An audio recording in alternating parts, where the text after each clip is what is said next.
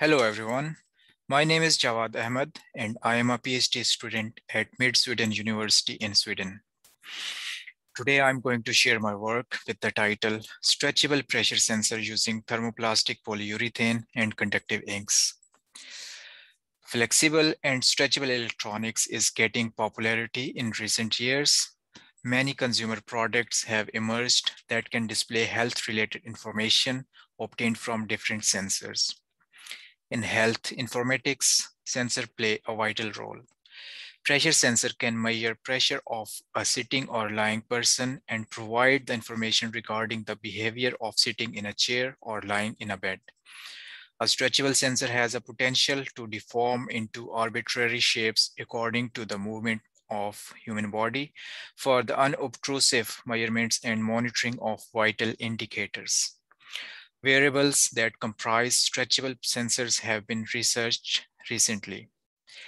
In this work, we investigate an approach of making pressure sensor that is highly flexible and stretchable using thermoplastic polyurethane as substrate and stretchable inks as the functional materials.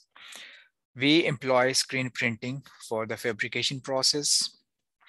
One of the purposes is to utilize stretchable pressure sensor inside a seat cushion of a wheelchair where the surface can be non-uniform and around 10 to 20% stretching may be required due to movements of the seated person. The design of the sensor consists of two printed layers of TPU sheets and a buffer layer of nanogel adhesive. TPU sheets are 80 micrometers thick, while the nanogel adhesive is 450 micrometers thick. The overall thickness of the proposed pressure sensor is 600 micrometers. The electrode layer is printed using silver-based ink, and the sensing layer is printed using a blend of piezoresistive carbon inks. The characterization is carried out to investigate the behavior of pressure sensor under the application of force. The resistance with respect to application of force is shown in figure two, and it is realized by using a commercial dynamometer. The resistance is logged using a multimeter. One set of readings is taken before the elongation cycles and the other just after the elongation cycles. Similarly, sensor drift has also been investigated to test the drift. A 500 gram force is applied and the resistance is logged for 90 minutes. The readings are taken 30 seconds after the application of force.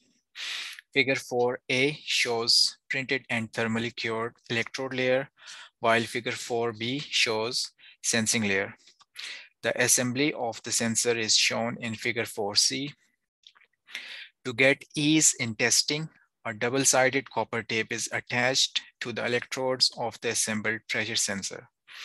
The results have indicated a good mechanical and electrical stability while retaining pressure sensing properties even after 100 elongation cycles.